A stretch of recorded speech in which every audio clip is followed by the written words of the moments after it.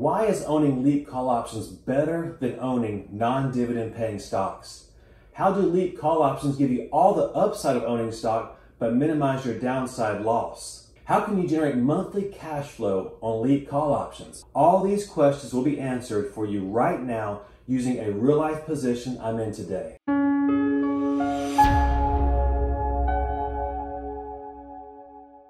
I am Randy Perez. I'm a 21 plus year real estate investor as well as stock and option trader. You're going to get a ton of extremely valuable information in today's video. I'm excited to share with you how Leap Options can help you become a better trader.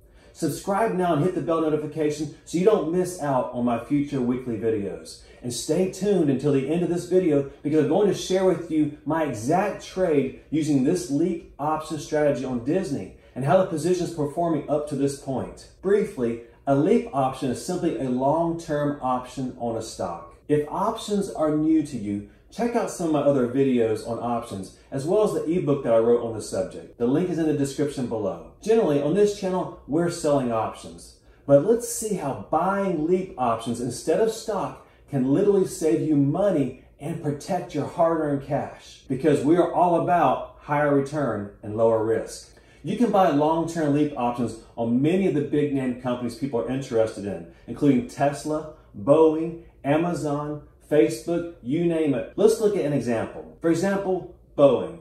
Let's assume you wanted to buy Boeing because you thought the stock was going up. Well, you have two choices. You can buy the stock outright for $191 a share, or you can buy a leap call option. Let's go to the option tab here on E-Trade to see what our choices are on leap call options that we can buy. As you can see here, there are a lot of choices with different expirations and strike prices on options that we can buy and sell. But we want to go as far out as possible if we're looking to buy an option. Now as we scroll through the choices here, the longest or farthest dated option is the one that has the most time until it expires and is circled here in red and it expires on June 17th, 2022. The reason we want to go that far out is because your option will decrease in value slower the farther out you go in time to expiration. Now let's see what choices we have for that option strike prices for that date. We see there's a ton of strike prices to choose from. Generally, when I buy a leap option, I like to buy them about midway between where the stock is currently trading and zero. So for example, Boeing is currently trading at around $191 per share. Let's take a look at the $100 strike price call options to see how much it will cost. In the comments below, let me know if you're going to try trading leap options soon or have you already been trading them? How much experience do you have trading leap options? Are you brand new to leap options or are you an old pro at it? Now getting back to Boeing, if possible, I like to pick even numbers with the strike prices where they end in five or zero because you'll have more volume in those positions. So it'll be easier to trade in and out of them. You see circled in black in the top left, we're looking at the Boeing option. If you look at the bottom where the red circle is, you'll see that there are 729 days until this option expires. Keep in mind that there are seven things that make up the price of an option. They are the underlying stock price, the strike price, which in this case is $100, the type of option, which here we're looking at call options, how long until the option expires, which in this case is 729 days, what are the current interest rates, dividends are figured into the price, and finally the volatility of the stock. What we want to focus on is the number on the bottom left corner here circled in red called delta. Delta tells you approximately how much this call option's value will increase or decrease in value for every dollar that the underlying stock moves. So if the delta is 0.8861, then you would expect this option to increase in value by almost 89 cents for the next dollar that the underlying Boeing stock goes up $1. As such, you will not get penny for penny benefit nor penalty if the stock moves for or against you. But you pretty much are going to capture the movement. And that will be done with spending approximately half of what it would cost you to buy the stock. You see, here, this $100 call option expires in June of 2022. If the average between the bid and the ask price of this leap, that would be the bid of $107.55 and the ask of 109.25, well, the average is $108.40. So you would be able to benefit by about 90% of the movement of the stock if it goes in your favor, but it's only costing you 57% of what the underlying stock price is. Now, how can we buy a leap call option to protect our downside?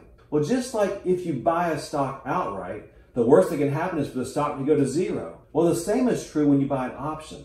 The worst that can happen is for the option value to go to zero. Since you're only out of pocket $108.40 as compared to being out of pocket what Boeing was currently trading at $191, you receive the benefit when the stock moves up, but at a fraction of the cost of the actual shares. What about protecting your downside? The interesting thing about buying a call option that's a leap is that let's say the stock is moving against you. The closer the underlying stock price gets to the strike price that you own, the lower the delta or the less your option will lose in value compared to the downward movement of the stock price. For example, let's take a look at that $190 leap call option for the same expiration as the one we're buying.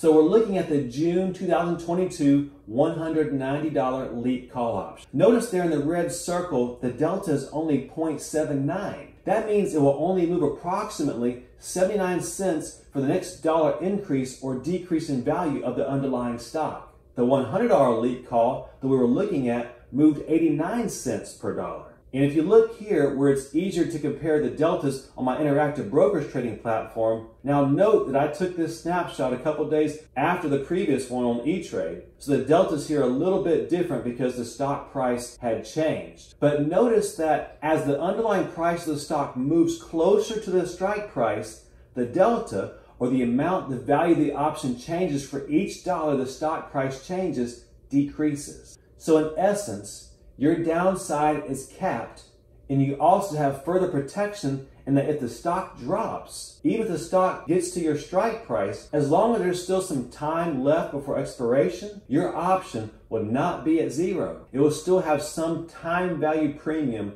left in it. This gives you tremendous protection to the downside while giving you almost 100% upside benefit. But as an option trader, we always want to try and do better. So how can we do better? I'm going to show you two ways. Let's take a look at Boeing's chart here to see where we think the stock price could potentially come or be at on June 17th of 2022. As you can see on the weekly chart here, Boeing has been on quite a ride.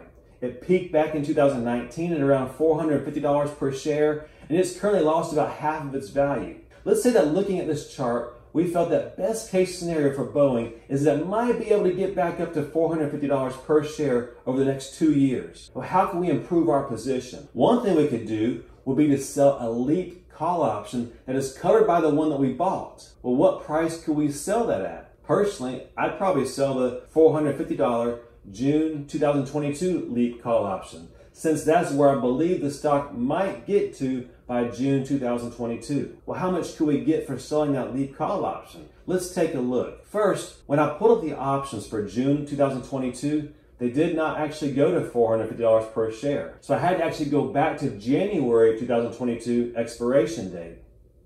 If you notice there in the red circle, the $450 call option that expires on January 2022 is selling between $6.90 and $8.20. If you average that out, you should expect to receive about $7.55 for selling the January 2022 $450 call option. That would put our net cost at $100.85 with a maximum profit potential of the difference between the strike prices of the option that we bought and the one that we sold of $450.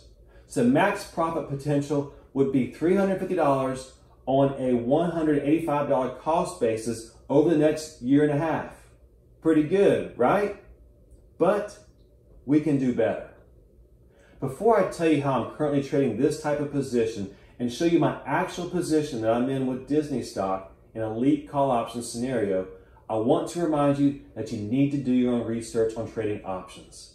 Options can be very risky. They can produce massive losses if not traded properly. Please do not take my word for these positions. These are not my suggestions for your trades.